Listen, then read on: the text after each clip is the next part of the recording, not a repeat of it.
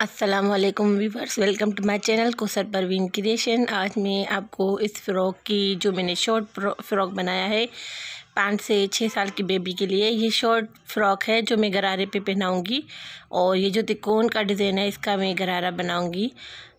तो चलते इसकी कटिंग और स्टिचिंग की तरफ़। ये बहुत ही प्यारा और पार्टी वेयर ड्रेस है, जो आप अपनी बच्ची को पहना सकते हैं।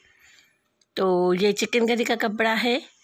और मैं आपको नाप और पूरी स्टिचिंग इसकी बताती हूँ। इन आपको पसंद आएगा। और ये इसका गरा, गरारे का कपड़ा है। और ये कुछ ऑर्गनजा की मैंने पट्टियाँ, जो नीचे मैंने डिज़ाइन बनाई है, उसमें यूज़ करेंगे। और कुछ लेसेस में लाई हूँ, जो मिरर का लुक देगी एक लेस। तो ये लगाऊँगी, इंशाल्लाह डेकोरेट करूँगी। सबसे मैंने मैंने एक डबल फोर्ड पीस लिया है, जिसकी लेंथ नौ इंच है और उसकी जो चौड़ाई है वो आठ इंच है। नौ इंच इसकी लंबाई है और उसकी चौड़ाई आठ इंच है। इसकी मैं नाप ले रही हूँ, साढ़े पाँच इंच है। और यहाँ पे मैं तकरीबन छः से सवा छः इंच निशान लगाऊँगी। आम होगा और शोल्डर से थोड़ा आड़ा लेके इस तरीके से कट करूँगी। ये राउंड शेप दूँगी। यहाँ से चेस्ट की नाप मैंने रखी है, तकरीबन सात इंच। अगर बेबी हेल्दी है तो आप इससे ज़्यादा रख सकती हैं। और ये विंटर का है तो मैं थोड़ा चौड़ा ही रखती हूँ, क्योंकि अंदर से हाई नेक वगैरह या इनर पहनाना होता है बच्चों को। ये इसका बैक साइड का कपड़ा है। ये भी इतना ही लंबा है, लेकिन यहाँ से मैंने बटन पट्टी के लिए आधा इंच तकरीबन फोल्ड कर लिया है। अगर कपड़ा ज़्यादा है तो आप इसी को फोल्ड करने वरना पट्टी लगानी पड़ती है। तो मेरे पास इतना ही कपड़ा था, इसलिए मैंने फोल्ड करके दूसरी पट्टी भी लगानी है। इसके गले की नाप में ले रही हूँ ढाई इंच और यहाँ नीचे से मैं तीन इंच ले रही हूँ। तीन इंच तक मैंने निशान लगा के इस तरीके से वी गला बनाना है और थोड़ा मैं इसको राउंड शेप दे दूँगी इस तरीके से। अब इसको कट कर दूँगी। मैंने फ्रंट कट कर दिया है और बैक जो है वो थोड़ा कम रखते हैं तो वो दो इंच पे मैं कट करूँगी। अब पूरी कटिंग करके मैं आपको दिखाती हूँ।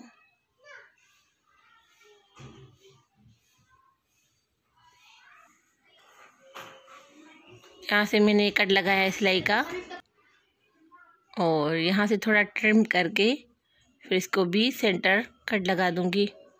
यहाँ से। यहाँ नीचे से भी मैंने कट लगाया सिलाई का। अब ये इसका नीचे का हिस्सा है, फ्रॉक का, और जो ओपन साइड है मैंने यहाँ से रखी है। और ये देखिए इसकी जो लंबाई है वो तकरीबन नौ इंच से सवा नौ इंच तक है, और इसकी चौड़ाई जो है सोलह इंचेस है। इसकी मैं टोटल लंबाई रखूँगी बीस इंचेस तकरीबन। बीस से इंच इक्कीस इंचज़ में रखूँगी। तो ये देखिए, यहाँ पे मार्जिन में रख रही हूँ। इसको देखते हैं कितना हो रहा है ये। तो ये तकरीबन साढ़े सत्रह इंचज़ है। तो मैं इतने इंचज़ तीन से चार इंचज़ बढ़ा के ये ऑर्गनजा का कपड़ा इसमें अटैच करूँगी और इसमें मैं लेसिस को डेकोरेट करूँगी। ये तकरीबन चार इंचज़ है। तो क्योंकि ये पीस था तो इसको मैंने यूटिलाइज़ किया है और ये तकरीबन बीस इंच तक इसकी लंबाई हो जाएगी। इस तरीके से मैं लेसिल लगाऊँगी। ये चिकन करी का कपड़ा है तो इसको लाइनिंग लगाना ज़रूरी होता है। मैंने लाइनिंग का कपड़ा कट कर लिया है और बस मैंने फ्रंट रख के उसके ऊपर ही कटिंग कर ली है। यहाँ पे जो गला मैंने कट किया था उसको लाइनिंग के साथ ही मैं सिलाई करके आई हूँ। ये देखिए, इसको मैं कट करूँगी जो एक्स्ट्रा कपड़ा होगा। और इसको मैं कट लगाऊँगी छोटे छोटे इस तरीके से, फिर इसको इस तरीके से मैं पलट दूँगी। तो ये गला भी इसमें बन जाएगा। एक्स्ट्रा कोई आपको पट्टी यूज़ करनी नहीं पड़ेगी। और मुझे अंगरखा स्टाइल देना है। मैंने कटिंग नहीं की, लेकिन मैं इसको निशान लगा के और यहाँ से मैं लेस लगाऊँगी। और मैंने आपको ट्रिक पहले भी बताई थी कि एक इंच पट्टी चौड़ी को गोलाई में कैसे लगाएँगे तो ये ट्रिक वही है।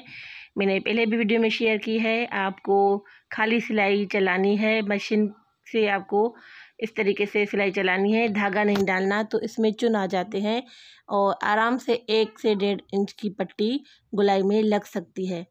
तो मैंने वही किया है और यहाँ पे अब ये राउंड शेप में थोड़ी आ गई है तो मैं इसको यहाँ से इस तरीके से रखती हुई और इस तरीके से सिलाई कर रही हूँ। ये इसका कोना है। तो कोने से देखें मैं कैसे कर रही हूँ?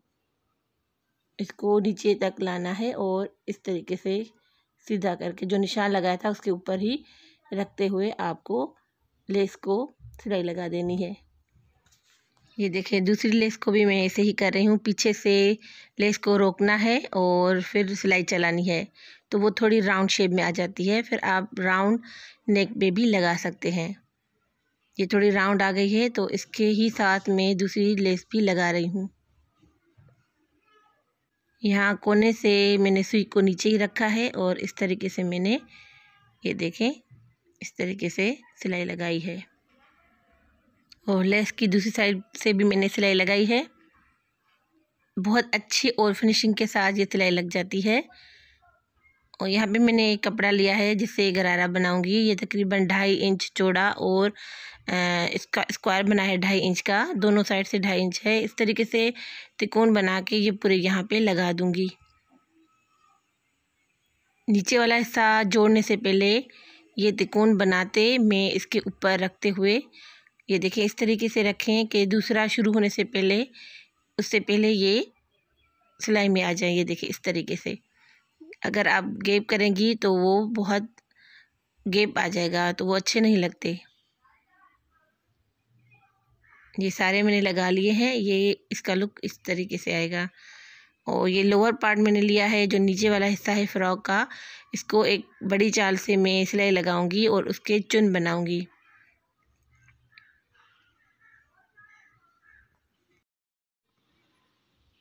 ये एक धागा लेके कोई सा भी एक धागा लेके इसको खींचेंगे तो इस तरीके से ये चुन बनते जाएँगे। और मैं यहाँ से इसको रखूँगी और इसका मैंने सेंटर पे कट भी लगाया है ताकि जो है सेंटर का हमें पता चल सके, क्योंकि चुन जो है वो बराबर होने चाहिए। ये देखिए यहाँ पे मैंने सेंटर मार्क किया हुआ है कट लगा के और जो अपर पार्ट था, जो ऊपर वाला हिस्सा है फ्रॉक का, उसको भी मैंने कट लगाया है। तो दोनों कट जो दोनों सेंटर है, वो आपस में जोड़ के और हमें इस तरीके से सेट करनी है चुनों को कि बराबर हो जाए। और सिलाई मैंने जो नीचे तिकोन पे लगाई थी, उसके ऊपर ही सिलाई लगाऊँगी। ये देखें इसका लुक किस तरीके से आया है। इन तिकोन को नीचे करके और ऊपर यहाँ से सिलाई लगा लूँगी किनारे पे। ये पूरा बन गया है। इसको नीचे की तरफ़ करते हुए और पीछे की साइड जो जोड़ है उसको अंदर करते हुए सिलाई लगा लूँगी और यहाँ पे और गंजा का कपड़ा मैं अटैच कर दूँगी। ये देखें मैंने अटैच करके और लेसेस भी लगा दी है दोनों। जैसे मैंने अंगरखा स्टाइल में लगाई थी। तो आपको मैं बताती हूँ मैंने कैसे लगाई थी। और गंजा का कपड़ा मैंने लिया था उसके उल्टी साइड पे मैंने एक साइड सिलाई लगा के इसको पलट दिया था सीधी साइड की तरफ़ और यहाँ से दूसरी दूसरी लेस लगा ली थी इस तरीके से और फिर ऊपर की साइड मैंने ये दोनों लेसेस लगाई है। ये फ़्रॉक का बैक साइड है और इसका भी मैं इसी तरीके से स्टिच करूँगी। यहाँ गले से मैं स्टिच करके दिखाती हूँ आपको ये देखिए मैंने दोनों को स्टिच कर लिया है और इसको मैं सीधे साइड पलट दूँगी पहले कट लगा के इसको फिर दोनों साइड को मैं पलट दूँगी। इसमें गला भी बन जाता है, जैसे हमने फ्रंट को किया था।